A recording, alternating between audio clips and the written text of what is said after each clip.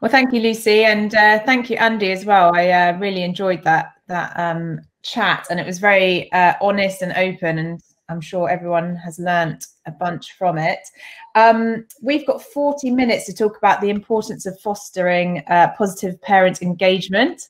So I'm really looking forward to um, asking our panel of guests um, some questions, and some will be general and some um, specific to both their schools in the UK and um, Singapore as well.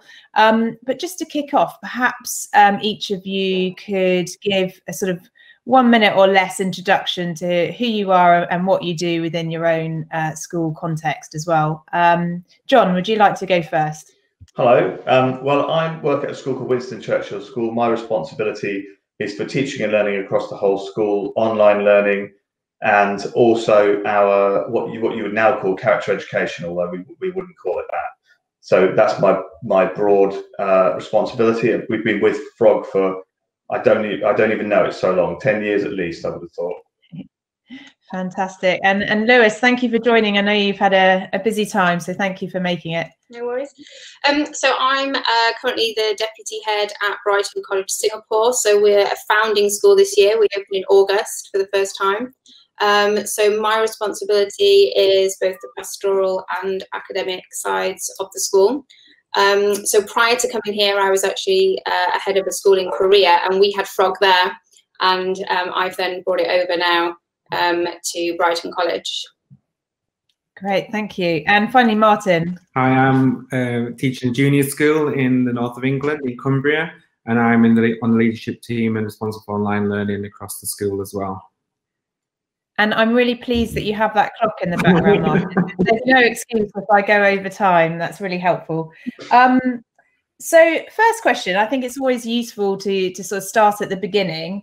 Um, why is parental engagement important and why is it especially important now in these current circumstances? So, anyone like to kick off? I can start if you're if you're happy. Thank you, John. Um, well, I, I mean, we've. I think schools always really value parental engagement anyway because it's like a triangular relationship and therefore if you've only got a relationship with the students um, often the parents feel like school's a black hole that they don't know anything about um, i think pretty much every school since the beginning of time have been trying to work out how to solve that problem um, hmm. and none, none more so than in the last six to eight months our i mean the, the whole process we've just been through has been so full of learning um, and experimenting with new things that i would think um, we found where we've been really successful, um, what we've been able to do is provide not, not just the resources for students, but also the support for, for parents to make good decisions about how they're operating learning at home, and then um, provide what we think is really important feedback to the students that they can then work through with this, their, their children and say, look, you are doing well, and, and keep encouraging them. And I thought it was really interesting in Andy's point about, um, you know, taking starting from scratch because, um, you know, I think sometimes the conversation with assessment is very internal focused, and suddenly parents are engaging with um, different forms of assessment. Um, I'm, I'm thinking about, for example, reading. Um, you know, you've got different levels, you've got different colours and sometimes you're you're not actually sure as a parent even you know what this means so i almost think and i'd love to hear from from you all on this experience whether sometimes it's about taking it right back explaining right from the beginning and you know can you ever make it too simple or any lessons on on on that side of things as well i think we have to go right back and make it really simple i think we need to remember that all of a sudden parents became educators overnight at the start of lockdown, and many schools became a lifeline for te- for parents as well. And we also had to help parents um, become experts in new technologies and how to use new technologies, as well as as students having to use new technologies as well, because we were all put in this position really fast. So it evolved over time with our students and our parents, and we've all had to learn together a week's gone by, we've had to change things. A month's gone by, we've changed things again. And to, to enable us to do that, we've had to have parents on side. We've had to have parents taking that journey with us. And it's been small steps to be in the position that we're at now, ready for bubbles closing, children going home, and a new style of home learning happening if, it, if we need to. And did you find, um, Lois, I just see as well, did you find that your communications increased over that time as well? Yeah, I think for us it, it, it's quite interesting. It's a bit of a unique situation that our school only opened in August. So we got a brand new parent body, yeah. All children, many of whom we had never met because they were all kind of admitted to the school uh, where we couldn't meet the children face to face. And you know they'd all had very very different experiences of online learning many experiences we, we you know didn't fully understand because they've all been at different schools we haven't got a single set of children who come from the same school so they've all had very very different experiences some internationally some in singapore um, so for us it, it was about kind of coming up with a very simple communication tool that we could actually start to build our relationship with our parents because we just we started from nothing totally from scratch um, so we were looking at something that, that was simple, that everybody could use, but it also um, was going to be a really positive experience for them because, as has been mentioned before, some people were coming in, you know, really down in the dumps about the last kind of three, four months that they'd kind of been living through with their children. Um, so yeah, so it, it was an interesting way to start a school for sure. yeah, absolutely. Um, and then and then for all of you as well so were there any other major changes of how you went about parental engagement sort of pre and post covid or as we continue to live with it um, we yes we we changed dur- during the process we sort of evaluate we are constantly evaluating the process obviously but we had um, like watershed moments where we changed what we were doing so during covid we uh, switched all our communications through frog because we, we, we knew that we had to simplify what we were doing, but enabling parents to engage with that was obviously going to be tricky because if you're communicating via um, uh, an app that you've already got, the emails, and um, uh, then through Frog, it becomes very difficult. So we went through the what can only be described as quite painful process of restructuring that communication to make it more effective. And uh, in all honesty, I'll I'll um, say that we've been much more successful with that as time's gone on, and as we relaunched this year, um, we uh, maybe I'll talk about it a bit later, but we gone directly for Frog as our only means of communication, and all our efforts have been focused on making sure that parents know how to use it. I'll elaborate that later, but I'll let somebody else answer.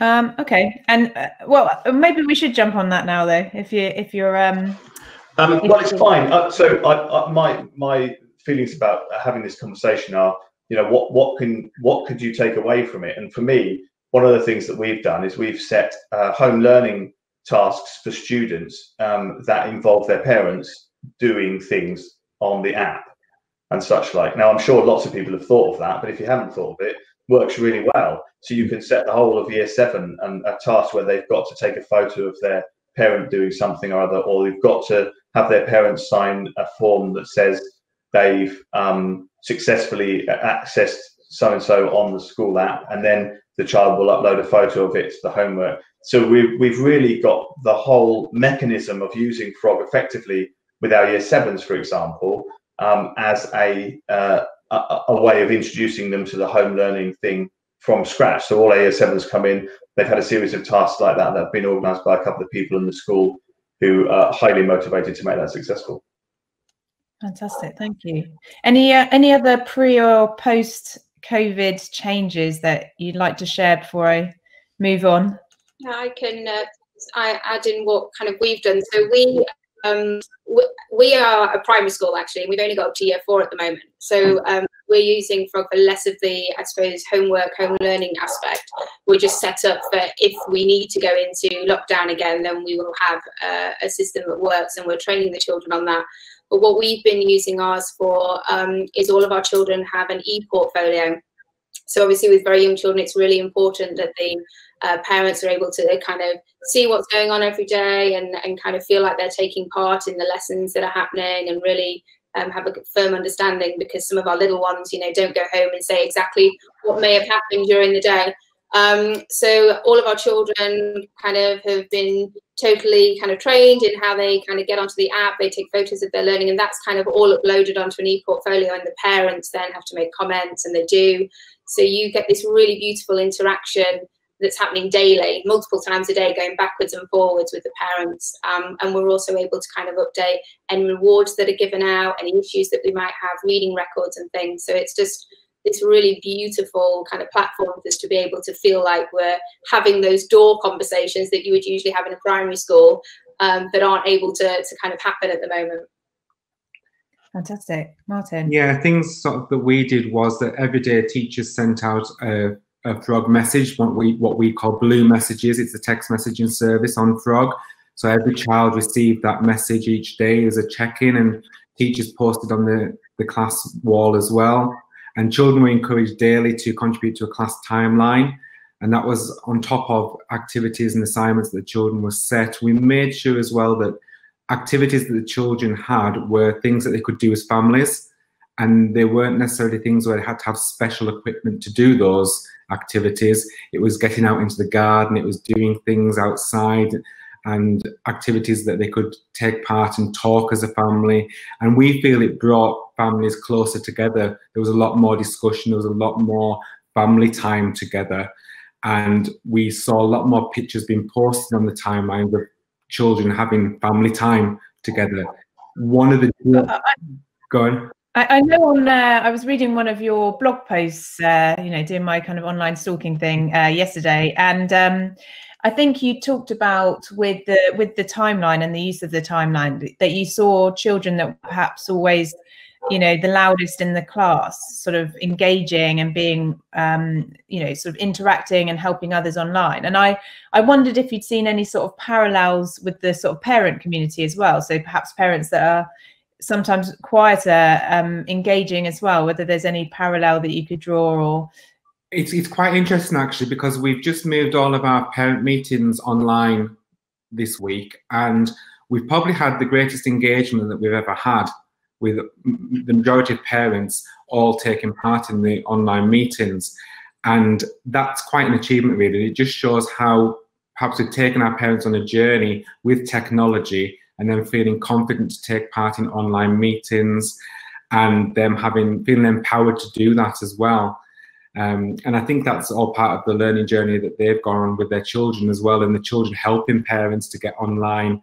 The major drawback for us has been devices and families having to share devices because they've been working at home.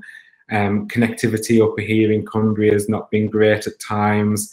You know, having down times when we've had um, everyone trying to get online for Joe Wicks and nobody been able to get online at the same time and it all been um, dipping. But we've had ongoing support for families as well. So we've used our Facebook channels as well so parents can message if they need support to help them online as well. And that has been good. At the start, support was very high and it was going on till eight, half eight at night. But as we moved through the process, that was we weren't getting very much support help at all needed. So it was showing how people evolved as well in that.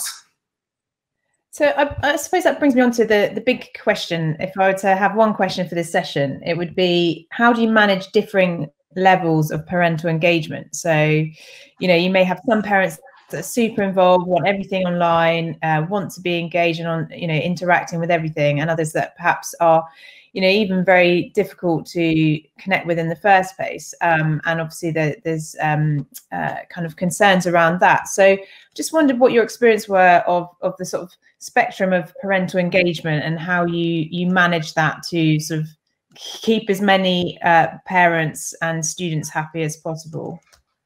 Um, i'll start. I think that's an extremely complicated answer to that question. So I'll, I'll just say a couple of things um, firstly, I think uh, the the one thing that you have to start off is by understanding is that you know all parents have different perceptions of what you should be doing for their children. Mm. So the first thing we we well we've been trying to do it anyway prior to lockdown. It's not something we started.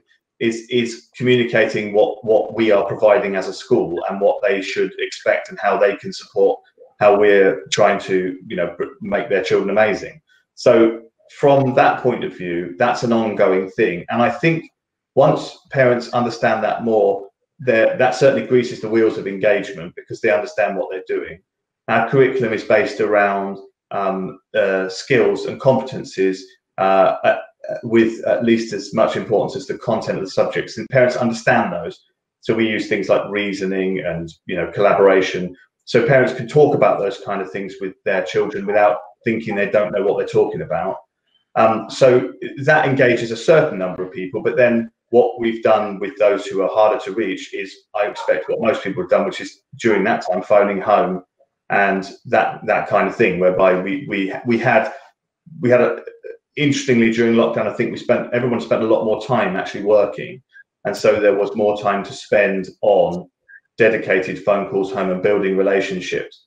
But everything we did at the time was focused on long term, so we didn't do anything that was just um, throw away. We everything we planned to try and have as something that would then be able to be used now as we as we're going forwards.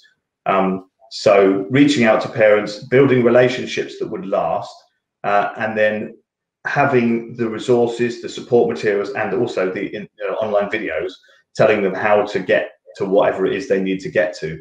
And finally, having it on their phone. So we restructured everything so that it's all it all works on their phone. We've rebuilt a dashboard, we've rebuilt everything so that pretty much the one thing that most people have is a phone.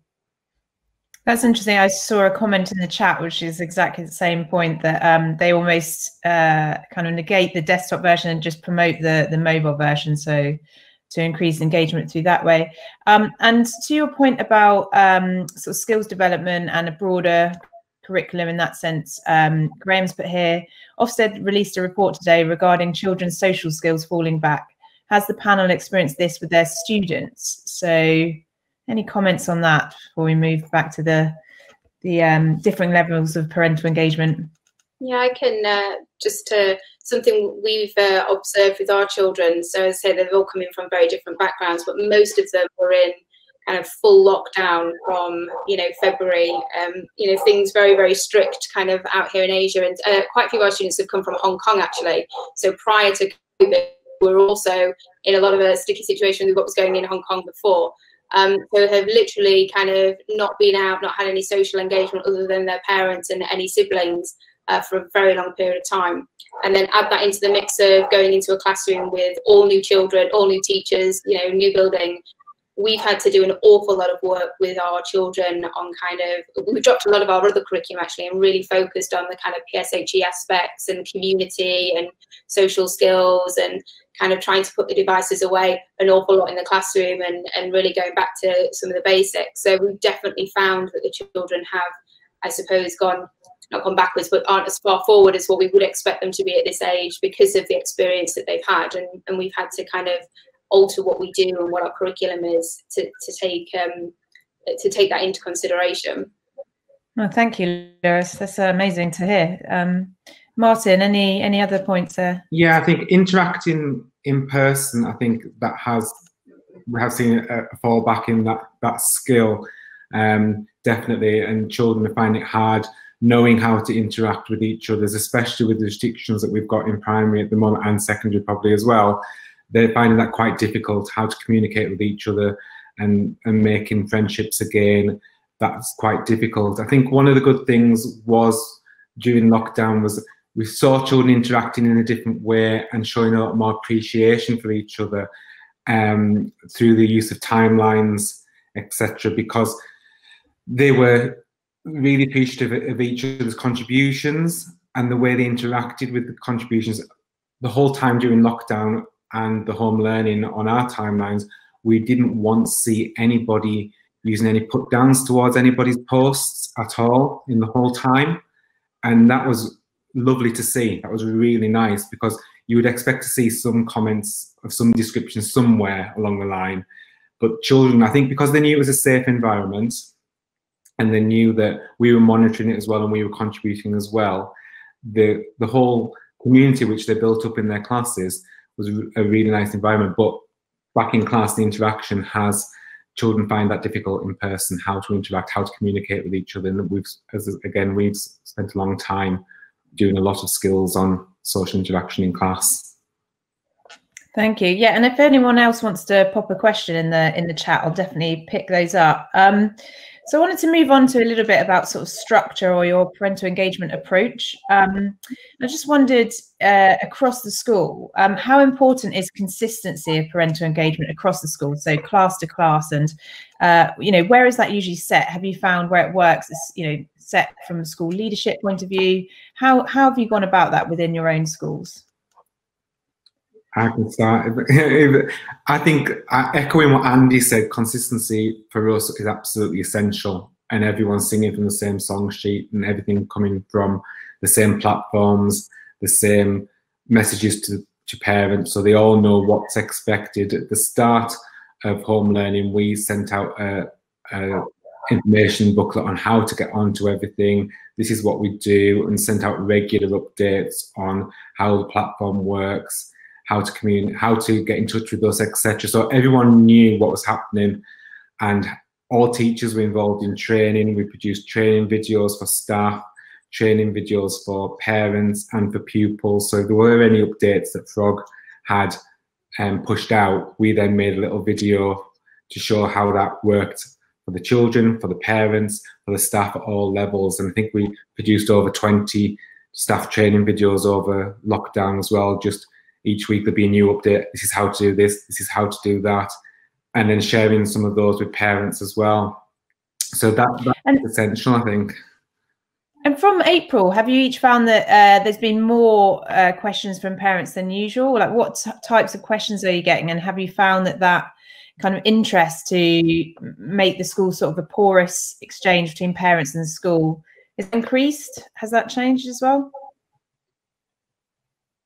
Um, so we've, I hesitate to say we've been on a journey, but um, you know we're all on a, we're all on a journey, aren't we? But uh, we so lockdown came during what we've been doing anyway. So all it enabled us to do was put our foot down and accelerate about two years worth of work into about three months. Mm. So uh, what we've so in order to answer your question, we, I don't think there were that many direct questions or requests for support, but evidently that every, everybody went about running a school in their house in a different way, and it was up to us um, to, as Martyn was saying, to try and support that as best as possible.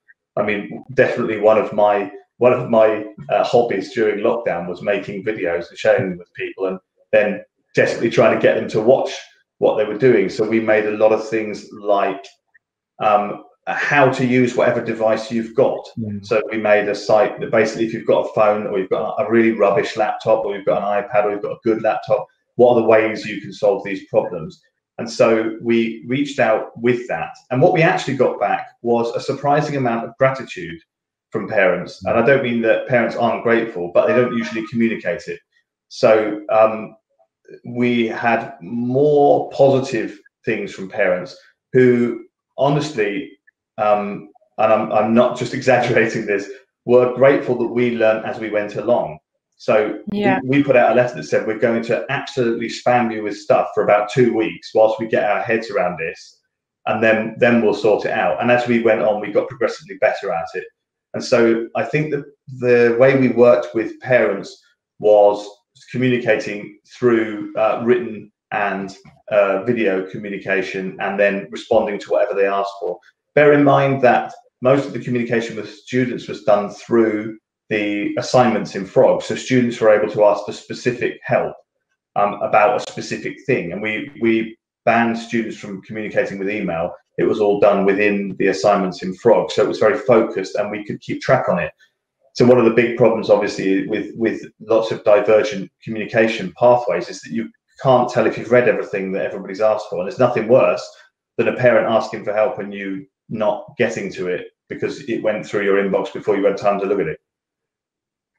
And that's an important question because I was going to come come to that. Is this idea of how do you manage to not duplicate the work for all of your teachers, for all the leaders? By you know, you've you've got children in a um, a lockdown or a shielding situation. You've got them in the classroom. How do you make sure that you're making it easier for everyone as opposed to to duplicating it? But so for you, it was about one channel.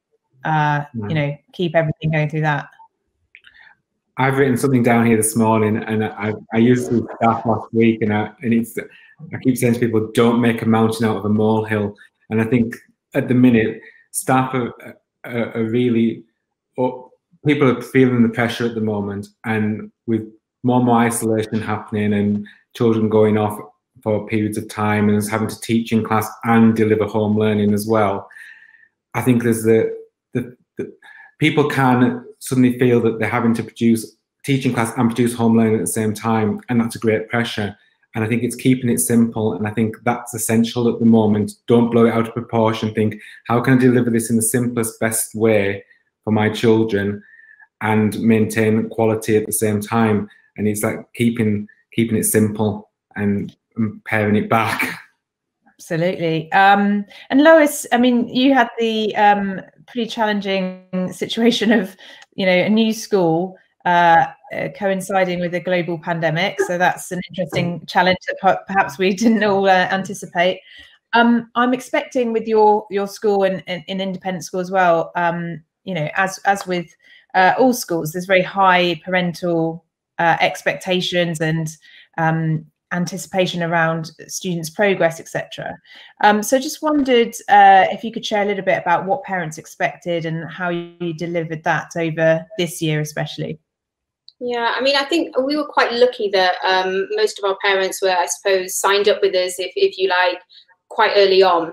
Um, so we were able to do, I, I was out here for uh, nine months before the school opened um, you know, in a very lucky situation of not having to look after a school and just totally focused on opening. So we did an awful lot of work with our parents um, prior to us opening about what what they could expect. Um, and we obviously knew that we were having Frog come in and I'd worked with it before. So I was able to explain to them what we would be using, what would be coming in different phases. We, we didn't open up everything uh, that it's capable of doing straight away. Um, so I think we, we did an awful lot of what um, Martyn and John have been saying about videos and how to use things um, without actually having to kind of do it at that moment as well. So it was more kind of pre preparation for what was to come. I think the biggest thing for us has been obviously those those expectations. You know, we we're academically selective as well, um, and so our parents um, are, you know, they, as all parents do, uh, they have very high expectations of their children. Uh, you know, they're, they're uh, paying a large amount of money. And so I think for us, um, we've had absolutely no issues with parents wanting to be engaged with us. It's more about they're wanting more and more and more. And so it's kind of trying to manage what those expectations are so that our teachers are able to keep up with those expectations and you know now they're teaching also doing kind of these things constantly online with parents. And it, it's more about making sure they have what they need uh, but it's that it's it's a manageable situation for us in school as well. Yeah absolutely. Um, and Martyn i had a quick question for you as well. Um, so North Lakes School, I've got here is a school with an inclusion quality mark, mm-hmm. um, again, online talking, um, uh, has worked to support parents of children with additional needs. So how how have you gone about supporting that particular community of parents and any anything you can share with the audience today on that side of things? Yeah our SENCO um, with the strategic facility they continue to have their timeline and posted pictures but for a lot of the children within our strategic facility they received their assignments as well but they also received a weekly package which was dropped off at their doors as well because um, there's I think there was seven children in that facility last year. So they received because they, needed a lot of physical things to manipulate and touch and use as well. So they would receive a package of um, resources, but they would then post pictures of what they were doing as well on the timeline and communicate in that way as well. So it was slightly different for those children. However, they were fully integrated into what we were doing online as well and celebrating their achievements as well through our timelines and they, they had their own class timeline as well. Great, thank you. And Um, I've got here, what were the most popular features or tools for parental engagement um, across each of the guests? So um, we've talked a lot about the feed. Were there any other areas of the, the platform that you're using that you found useful, and, especially in terms of parental engagement as well? Um, I'll, I'll, start on that. Um, I just wrote down a couple of things that I thought would be useful to say, and one of them is uh, the feedback app. So I think um, certainly when we sort of worked out what was going on in various schools around us, one of the things that we felt we were doing that was different was providing written and verbal feedback for students. I mean, we started off doing that very badly because we were everybody was, you know, all hands to the pumps. Um, but once we got the hang of it, um, where we've ended up now is that um, teachers can record verbal feedback um, and uh, students and parents can can see that. And I think that's one of the things that stimulated the parental response was that they were able to hear what we thought about their child's work. So it made it helped the child to motivate themselves to do more. Um, but also, uh, if the parent and the child can see and hear the feedback uh, in one simple place, then um, it doesn't become a chore. So parents who are at home, either working from home, I mean, it was it was pretty chaotic. I have a child myself. My daughter was there. She was seven, or yeah, seven, and um, trying to teach her at the same time as everything else. So it made us very aware of what it was like to be a parent. So we've now put that feedback front and center, so that when a parent logs in, the first thing they can see is any new feedback they've had that the child has had about work they've done, and that that kind of relationship of of doing work and, and it being appreciated and, re- and rewarded, I think was very powerful. And the, we, I actually spoke to uh, Frog before we set off on this uh, odyssey uh, at the end of March, and we are really going to hit feedback hard because that's going to be that's going to make the children feel like they still have connection with their actual teacher. Because there's nothing more um, significant than hearing your teacher's voice speaking to you about your specific work. So I think that's a very powerful element of it. Yeah, that's always struck me as a bit of a no-brainer, even pre-COVID. So is that something you're going to carry on? Uh, absolutely, that's that's now part of our core uh, core strategy. So we've we're reducing, we're making it a manageable amount depending on what the department is. So um, so you may set a piece of work that has deep feedback once every two, three, or even some for some subjects that don't see the kids an awful lot, maybe once every half term. But the feedback they get is really worthwhile. And then and then obviously we, we go through the process of redrafting work and all that. But from the point of view of engaging a parent, that really was very much valued by parents. Great. Any any other features or tools you'd like to share? One thing we did is we introduced something called the Froggies, and it was an award system for engagement. So we introduced a Frog of the Day. So each teacher nominated a child who they felt deserved to be the frog of the day in their class. And then each week we had bronze, silver, gold, platinum, platinum plus awards. So children earned their badge and we shared those on our platform and on social media as well. And that helped with engagement and the par parents really enjoyed that and were really keen to encourage the children to work towards one of those. And we made a specific site for that as well. So that was a really positive element of our um, journey, I, it's that word again, of our experience on home learning as well. I suppose, Martyn, that became a talking point for the kids, did it? It did. It did. So they... And we're about to introduce it again now. It's a lot more scaled down, but we're going to introduce it over the term as well and keep the froggies in in the on the on the platform as well. Um, oh, are you going to call us out? No, not at all. I've jumped on because Sophie is having some issues. So please continue. Yeah, that's okay. So um, uh, another thing that we, a, a, huge change that we've made, because we use Frog Learn and we don't just have Frog Progress. So Frog Learn means that we can build websites. One of the things that um, a lot of people had to do very quickly was find an emergency online provider. Um, and we've been using Frog for years, so we didn't have to go to Google Classrooms or whatever. We actually we we build our we built our curriculum online, so everything um, that we uh, want children to have access to, it, it what it wasn't quite there then, but it but more or less is now. So a parent can go on and find what a student should be doing. And, and we don't do that in a lesson by lesson way. So it's not prescriptive, it's lesson 38. It's more that the resources around the topic that you're doing are there. So if you're studying a book in English, there will be all kinds of interesting resources, some of them very focused uh, on the book itself and some on wider reading and such like. So what we did was create, we've created a sort of um, a sky's the limit uh, resource. So if you're motivated and interested and engaged, students can can find that work. They don't have to be prescribed it by us. We can prescribe it. It's all the same stuff. So we can we can assign it to students um, if we want to. We can guide them towards it using um, the uh, progression charts and, and, and that. But but also they're free to find it themselves. So really engaged students during lockdown or students who became more engaged were able to pursue their areas of interest more easily. Um, I so I think, yeah, um, I was going to just add one thing that the other thing we did really badly to start with was we set uh, assignments which had a lot of a lot of different things, and what we did was we've we've basically um, pared that all down. So mm. we provide information in very small uh, bite-sized um, uh, chunks, and at the end of that, sort of, you might have five slides of information and then an activity at the end.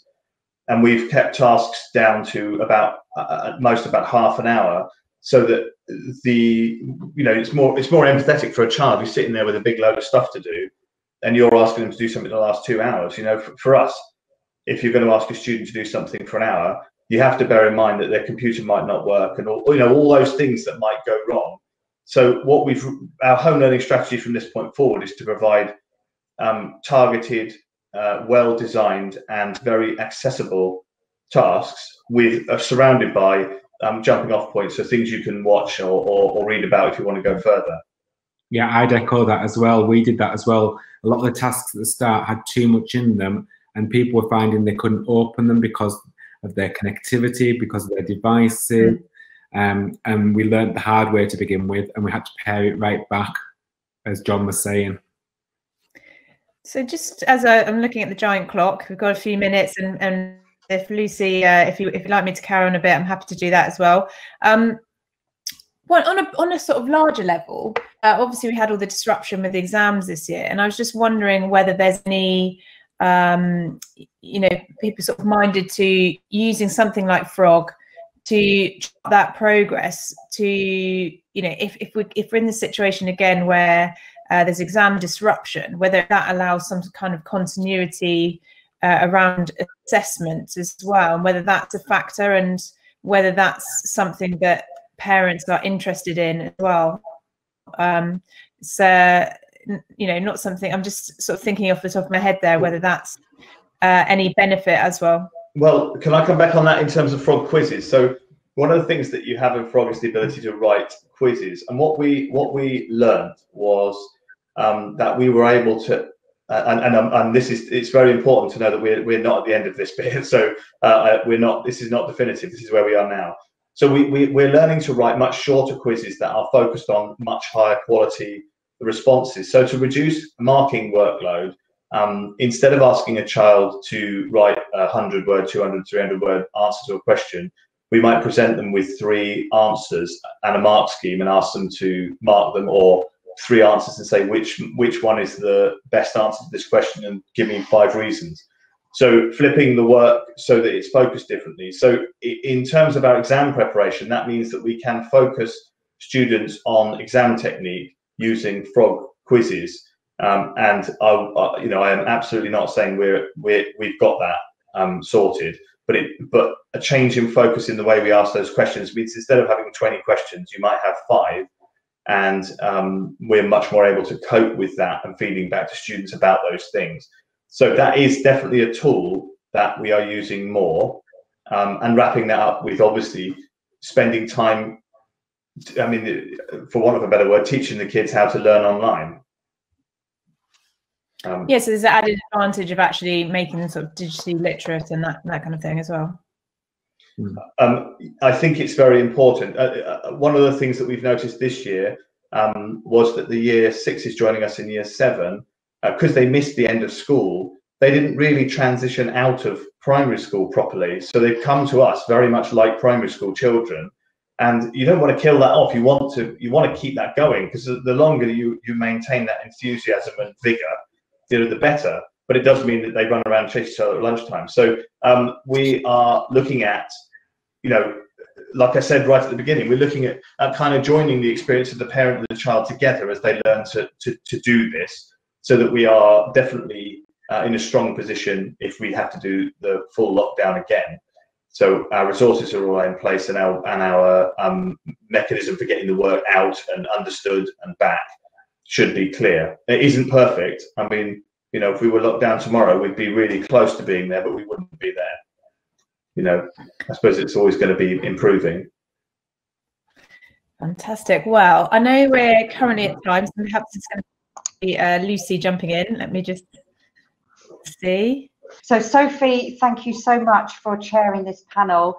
Um, thank you for those those challenging questions. It's been absolutely fantastic. I think you're kind of back and kind of going, um, but I think the the main things that came out of that were particularly around the use of e-portfolios, communicating with parents, involving them in their students' journey, uh, hearing their teacher's vo- voice, supporting parents as teachers in some case and also keeping it simple and being prepared. And it's really interesting to hear how you've all dealt with that. So thank you to sophie thank you martyn thank you very much lois for joining us this morning